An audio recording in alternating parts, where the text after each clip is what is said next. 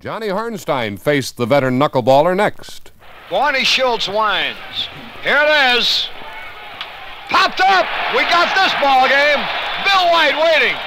And the Cardinals win. The Redbirds are only one game out of first place. So, Jack, we had passed Philadelphia, but the idle Cincinnati club still led. The Cardinals simply couldn't afford to lose. Young Ray Sadecki got the pitching assignment the next night, and after the Cardinals had scrambled to a 3 to 2 sixth inning lead, it was again Bill White who provided the insurance. The pitch is made by Boozer, and there's a drive to deep right center field. Way back, way back, near the clock. Home run for Bill White into the seats.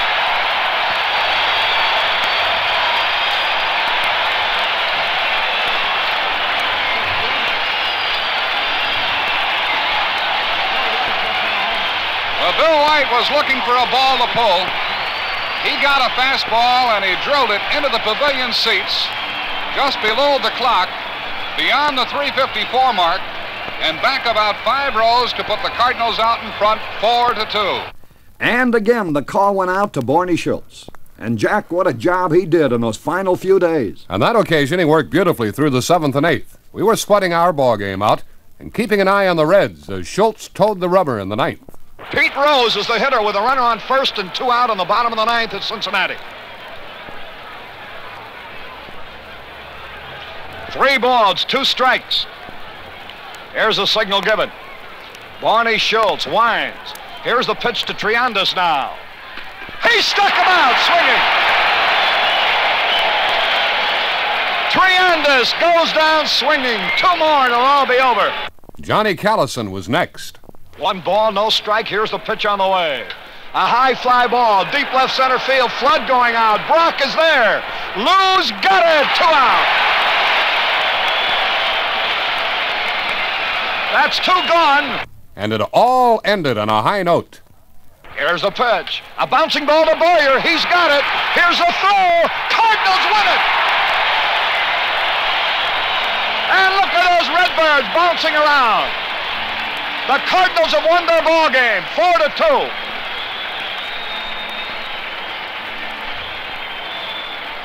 Pittsburgh has won. Pittsburgh won this ball game. Two to nothing. It's over. Pittsburgh has just beat the Reds two to nothing. The National League race is in a tie. Holy cow! Never has there been a more thrilling moment. Within 15 seconds after the Cardinals won, Mazeroski threw out Ruiz, and the Pirates shut out the Reds two to nothing. The National League race is all tied up. And the Phillies in third place stay only a game and a half out. That set the scene for Wednesday night, with Curt Simmons opposing Jim Bunning as our Cardinals went for the sweep. The honorary mayor of Memphis, Tennessee, Tim McCarver, gave us a second inning lead. Two balls and a strike. Here's a pitch. There's a drive way back. It might be. It could be. It is a home run.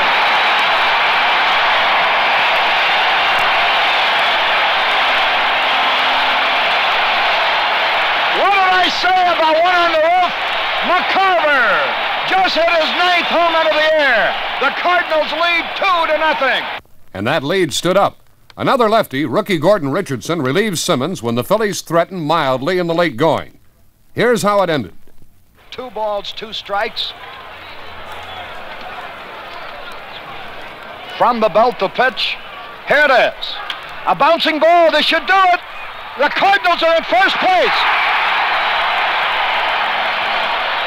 The Redbirds win at 8 to 5. Gordon Richardson being congratulated. As Bobby Wine bounced to Groat, who tossed to Javier for the force out. And now the pressure has been put on by the Cardinals. The Cardinals have taken over first place pending the outcome of the Cincinnati game. That one really did some pending until past 1 a.m. as Harry and I sat in a darkened and deserted Busch Stadium. We were receiving direct reports from Cincinnati on the progress of that game. It was in the top of the 16th, still a scoreless duel. A rookie catcher named Jerry May was hitting for the Pirates. And we, like you, heard this good news. He hits a big run there at third. The ball is bunted on the squeeze. We score! We And away! Jerry May executed a perfect squeeze bunt, and they were looking for anything but that, and the Bucks put on the suicide squeeze.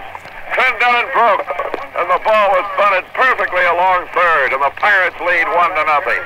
Harry Caray was his usual calm and collected self as we listened to the bottom of the 16th. McBean, upon occasion, you know, has uh, been called a hot dog. He calls himself that. But uh, one time he said, "You think I'm a hot dog now? Wait till I win 20."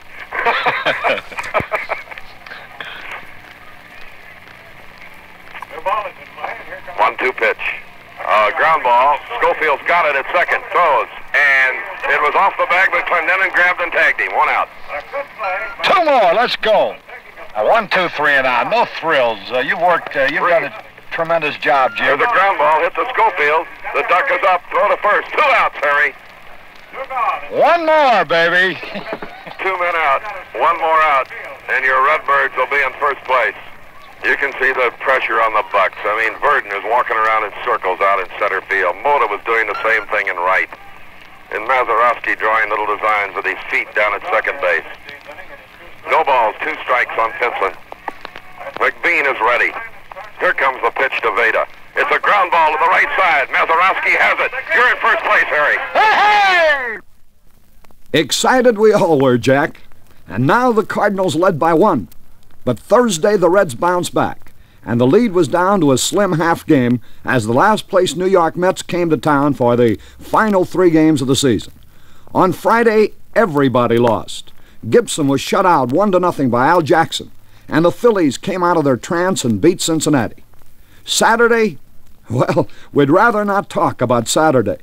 The Reds tied things while taking the day off, as a supposedly inept Mets bombed the Cardinals 15 to 5. So we were right back where we started on opening day, April the 14th, tied for the lead. And it all boiled down to October the 4th, 1964. And so the whole season had come down to one day, one game.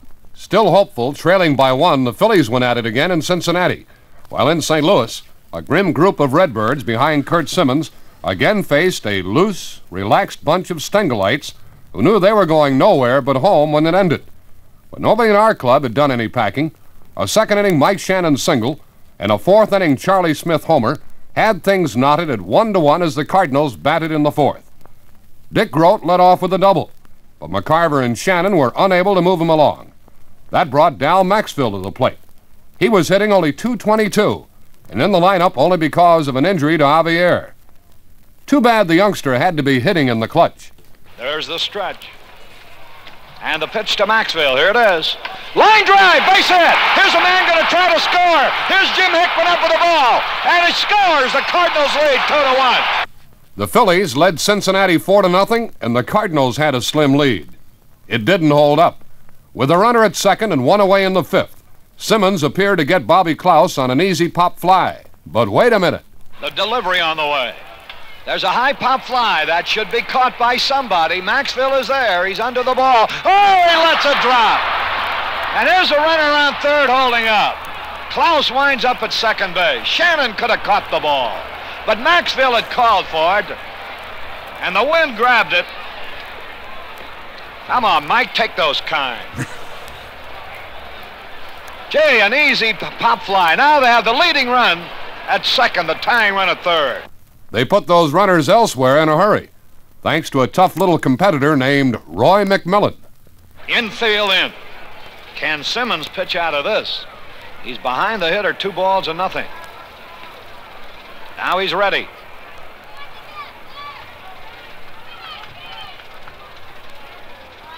Into the windup he goes, and here's the pitch on the way. Line drive's going to score both, and the Mets have taken the lead. Into the corner, McMillan's on his way to second base. A double to left, and the Cardinals trail three to two.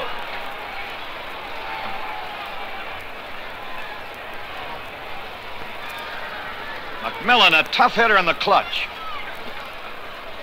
And now both of the two of the teams right now, if everything would end the way it is now, there'd be a triple tie starting tomorrow in Philadelphia.